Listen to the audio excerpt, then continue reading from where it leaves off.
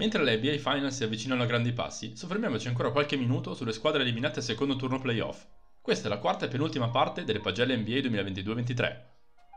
Golden State Warriors, voto 5. Se il titolo vinto l'anno scorso aveva chiuso un cerchio, riportando gli Warriors sul trono NBA dopo due stagioni buie, questo 2022-23 potrebbe aver chiuso un'epoca nella Bay Area. Già in off-season si sono avvertiti i primi schicchioli legati principalmente a questioni salariali.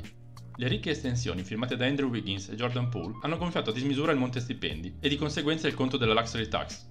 Allo stesso tempo, i mancati accordi con il general manager Bob Myers, con Clay Thompson e con Draymond Green hanno addensato le nubi sul futuro della franchigia e hanno fatto lievitare la tensione, sfociata nel fatidico pugno sferrato da Green a Poole durante un allenamento. I campioni in carica hanno vissuto una regular season bipolare, al Chase Center si è vista per lunghi tratti la solita inarrestabile macchina da pallacanestro. In trasferta una squadra molle e senza anima, capace di vincere appena 11 delle 41 partite disputate. Coach Steve Kerr aspettava risposte importanti da parte del nucleo giovane, chiamato a portare avanti la tradizione vincente, ma ha ricevuto più delusioni che conferme. Jordan Poole ha alternato qualche ottima performance a troppi passaggi a vuoto, specialmente durante i playoff. Jonathan Kuminga e Moses Moody non hanno mostrato i progressi di cui sembravano capaci e sono finiti a più riprese fuori dalle rotazioni. James Wiseman è stato bocciato su tutta la linea e dopo aver assaggiato anche la G League è stato scaricato a Detroit in cambio di un mucchio di seconde scelte. L'incostanza di Clay Thompson, i problemi familiari che hanno tenuto fuori a lungo Andrew Wiggins e l'infortunio alla gamba che ha costato un mese di stop a Stephen Curry hanno complicato ulteriormente le cose, impedendo agli Warriors di andare oltre un mediocre sesto posto. La maggiore esperienza, il dominio a rimbalzo di Kemon Looney e la classe di Steph, autore di 50 punti in una leggendaria gara 7, hanno permesso a Golden State di sbarazzarsi dai giovani Sacramento Kings, ma contro i più navigati Los Angeles Lakers sono emerse tutte le lacune di un gruppo arrivato forse a fine ciclo. New York Knicks, voto 7. Sulla carta, quella a disposizione di Tom Thibodeau era un roster mediocre, destinato a una stagione altrettanto mediocre. A conti fatti, quella del 2022-23 si è invece rivelata la miglior versione dei Knicks da 10 anni a questa parte, il principale rinforzo estivo, Jalen Brunson, ha subito preso le redini della squadra, sfiorando l'All-Star Game a suon di prestazioni altisonanti. Al suo fianco, Julius Randle è tornato quello del 2020-21, guadagnandosi una nuova chiamata fra le stelle e l'inclusione nel terzo quintetto All-NBA.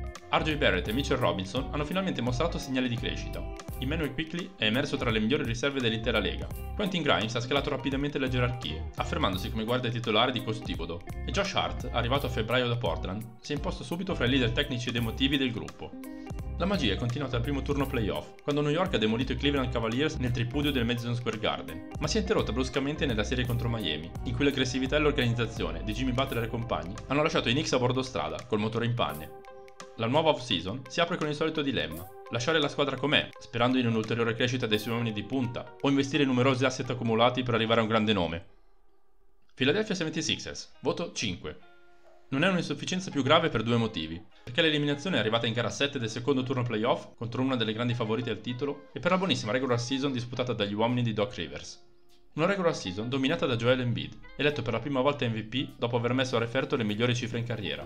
Una regular season in cui James Harden ha guidato la classifica degli assist, come già accaduto nel 2016-17, e ha mostrato a sprazzi la miglior versione di se stesso, una regular season in cui Tyrese Maxi, al suo terzo anno da professionista, ha scollinato per la prima volta oltre i 20 punti di media, promettendo di giocare un ruolo da protagonista nella squadra che verrà. Ai playoff, però, sono tornati i vecchi fantasmi. Dopo aver passeggiato contro una versione sperimentale dei Brooklyn Nets, Philadelphia ha sprecato una clamorosa occasione contro i Boston Celtics. In vantaggio 3-2, i Sixers non sono riusciti a chiudere i conti sul parquet di casa, nonostante un Jason Tatum irriconoscibile per tre quarti di gara 6. Nell'incontro decisivo al TD Garden si sono sciolti completamente, trascinati nell'abisso dalle pessime prestazioni di Embiid e Harden. Anche quest'anno niente titolo, anche quest'anno niente finale di conference. Il tempo passa, le scuse e i colpevoli si accumulano. Quest'anno è toccato a Coach Rivers, esonerato dopo l'ennesima eliminazione precoce, ma nell'off-season appena cominciata si dovranno prendere molte decisioni delicate, partendo da quella sull'eventuale rinnovo di Harden. Phoenix Suns, voto 5,5. È difficile dare un giudizio esaustivo alla stagione dei Suns, L'eliminazione al secondo turno playoff, risultato identico a quello dell'anno scorso, fa pendere la bilancia verso il fallimento, ma la valutazione complessiva non può prescindere dall'operazione Kevin Durant, che ha cambiato drasticamente le prospettive a medio termine per la franchigia dell'Arizona. Fino a quel momento, i Suns sembravano finiti su un binario morto. Complice un infortunio muscolare che ha tenuto i box Devin Booker per 21 partite, Phoenix era rimasta invischiata nella lotta per evitare il play-in. Lo scambio con i Brooklyn Nets, caldeggiato dal nuovo proprietario Matt Ishbia, ha proiettato la squadra di coach Monty Williams nel novero delle favorite per il titolo. Approdato nel deserto, Durant ha fatto subito digerire ai tifosi la separazione da Michael Bridges e Cam Johnson, ma si è dovuto fermare presto a causa di una distorsione al ginocchio. Phoenix è arrivata ai playoff con il roster al completo e si è liberata facilmente dai rimaneggiati Los Angeles Clippers grazie alle sfuriate offensive di Durant e Booker. La serie successiva, contro Denver, ha però mostrato tutti i limiti di un gruppo che ha dovuto cambiare tanto e sacrificare profondità per assicurarsi il suo nuovo fuoriclasse. Le performance mostruose di Booker e il talento cristallino di KD non sono bastati contro i solidi organizzati Nuggets. Le due star hanno avuto al loro fianco un supporting cast non all'altezza, impoverito ulteriormente dal solito infortunio di Chris Paul e dalle deludenti prestazioni di DeAndre Ayton, sempre più ai margini del progetto. Il primo a pagare per l'eliminazione subita è stato coach Williams, esonerato senza troppi complimenti, ma è probabile che per puntare veramente al titolo e rimodellare una squadra competitiva attorno ai due fenomeni, i Suns debbano sbarazzarsi anche del centro bahamense e dei CP3, che sembra giunto ormai a fine corsa. Queste erano le pagelle delle quattro squadre eliminate al secondo turno playoff. Nei commenti fateci sapere le vostre impressioni e i vostri voti. Con un invito a lasciare un like al video e a iscrivervi al canale, vi do appuntamento alla prossima puntata.